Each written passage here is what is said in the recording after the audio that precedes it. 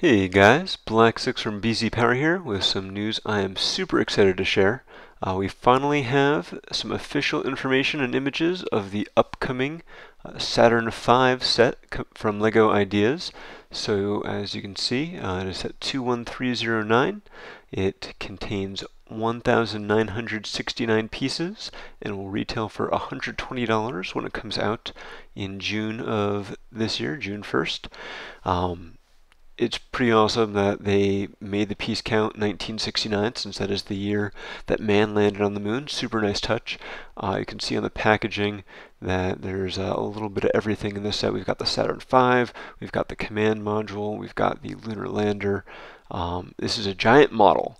Uh, I'm not sure how well the images are kind of going to give you that sense of scale, um, but according to all of the uh, documentation around the press release, it is over 3 feet tall. It is 39 inches tall. That may make it the largest Lego set ever. Um, but, you know, I'm super fine with that because it, this is ridiculous. Um, I'm a huge fan of the Apollo program. Think that landing on the moon is one of mankind's uh, greatest achievements, and uh, super excited by this model and how awesome it looks.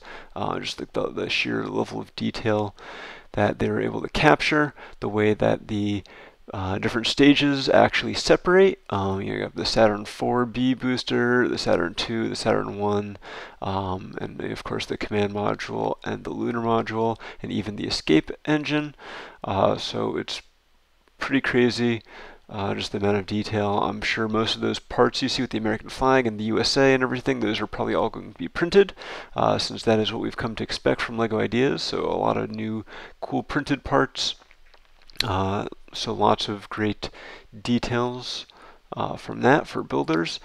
Uh, here we see a little kind of vignette of the lunar module. Um, I love the printed boat bottom piece they're using for that, and the printed microfigs for the astronauts. Of course, technically there should only be two astronauts, since only two of the three Apollo crew members landed on the moon. Also love that 1x2 trans clear tile the American flag print. Another nice touch. Just in general, like you know, a huge amount of uh, detail in a fairly small model for the lunar module here.